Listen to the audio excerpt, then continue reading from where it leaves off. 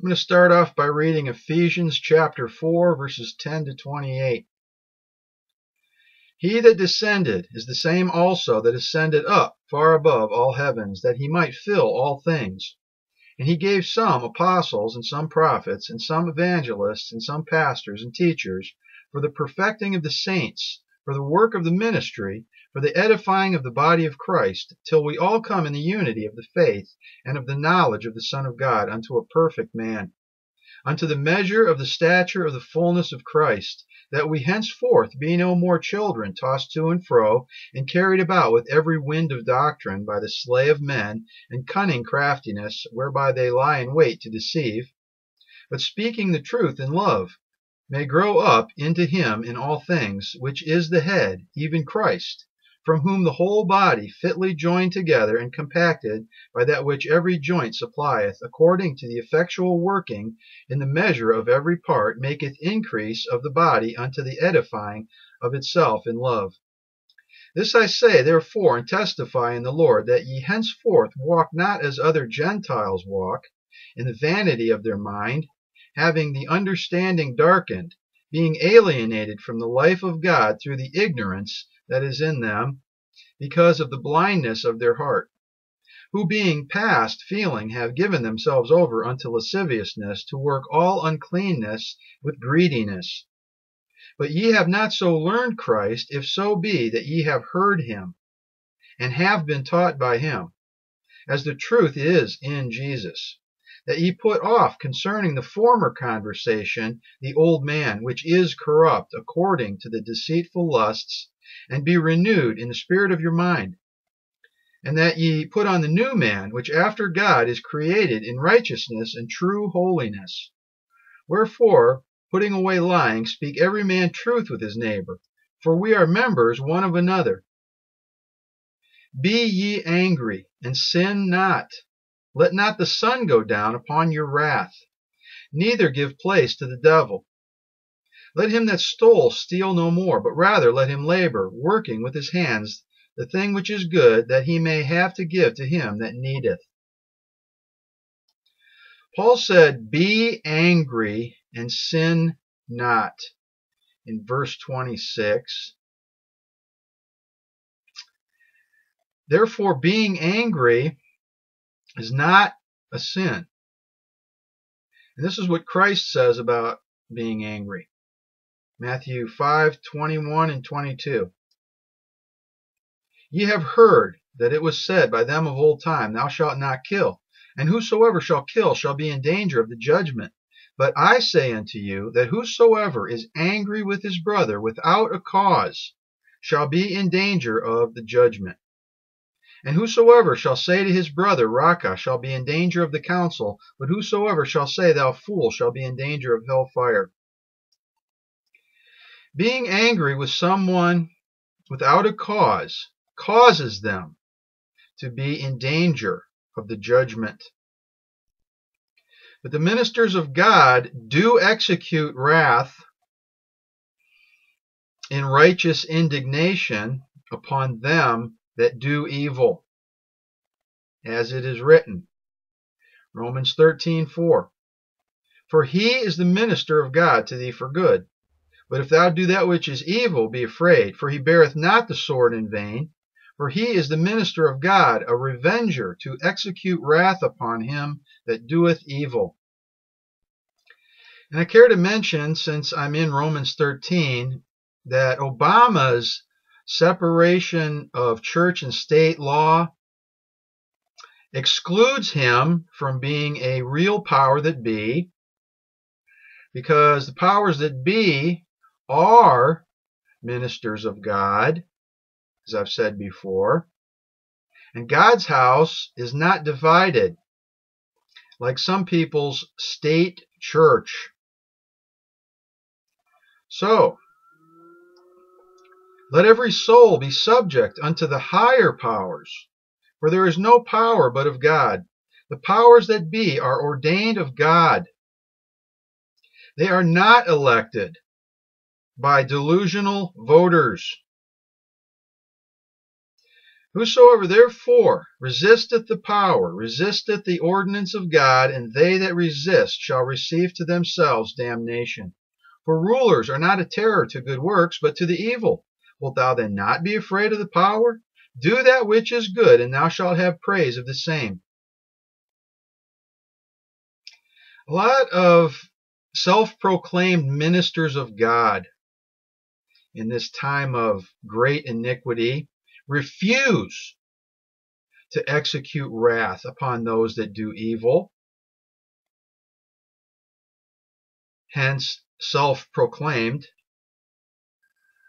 Ever notice that?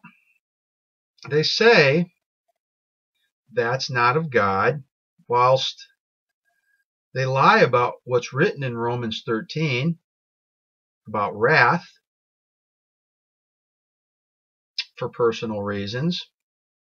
And sometimes they say to me, you should be more Christ like. And I say that the kings of the earth hide from the wrath of the Lamb, which is Christ. Hello? Revelation 6, verses 15 and 16. And the kings of the earth, and the great men, and the rich men, and chief captains, and the mighty men, and every bondman, and every free man, hid themselves in the dens and in the rocks of the mountains, and said to the mountains and rocks, Fall on us, and hide us from the face of him that sitteth on the throne, and from the wrath of the Lamb. Not the mild displeasure of the Lamb, Revelation 19, verses 11 to 15. And I saw heaven opened, and behold, a white horse, and he that sat upon him was called Faithful and True, and in righteousness he doth judge and make war. His eyes were as a flame of fire, and on his head were many crowns. And he had a name written that no man knew but he himself. And he was clothed with a vesture dipped in blood, and his name is called the Word of God.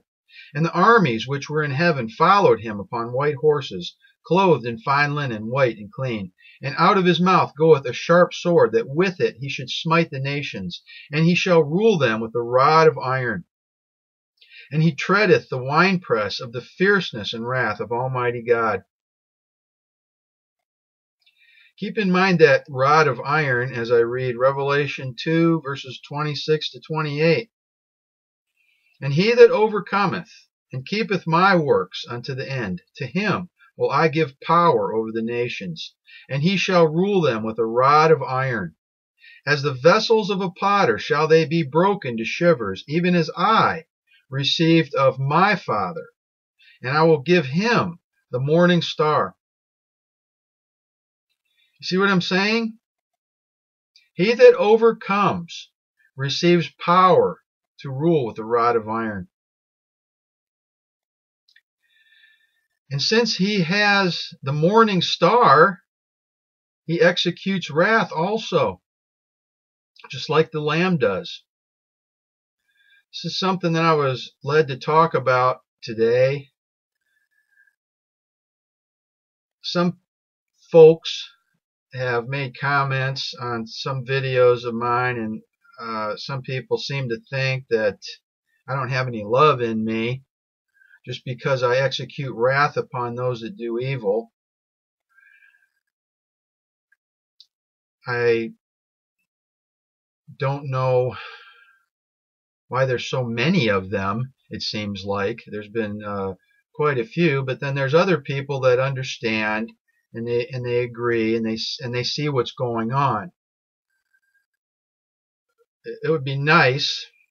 I would like to see more people rising up and speaking strongly against these perverted religions that I talk about in so many of my videos where they have pedophiles and uh, just you know people that commit horrible abominations against God's children.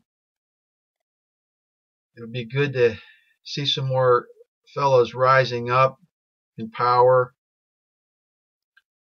I've seen uh, some women rising up in, with great uh, power also in Christ. So I, I care to mention that.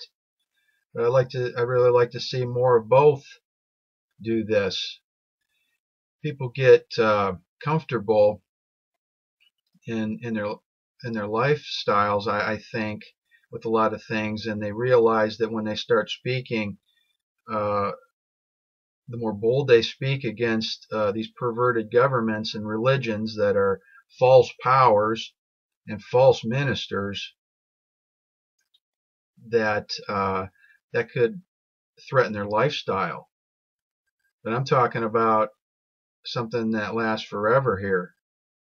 I'm not concerned about this, you know, this short time of uh, that, that, people have. There's so many people that, uh, you know, did according to their uh, things that their that their fathers or what they call their fathers did, who ate manna in the wilderness and are dead. These, you know, people get destroyed. This is important to talk about. Um, I'm not wishing it at all, but you know, if Christ said that you find life, you know, read Matthew chapter 7. That's where it says it. A lot of people just won't make it because of uh, pet, what I think are petty things, you know, that, that they don't want to give up. So I was led to talk about this today because I see, you know, something going on here with uh, uh, so many times uh, people have said things against God's elect in their judgment, in the righteous judgment, because they don't want to deal with uh, the truth, these things. Thank you.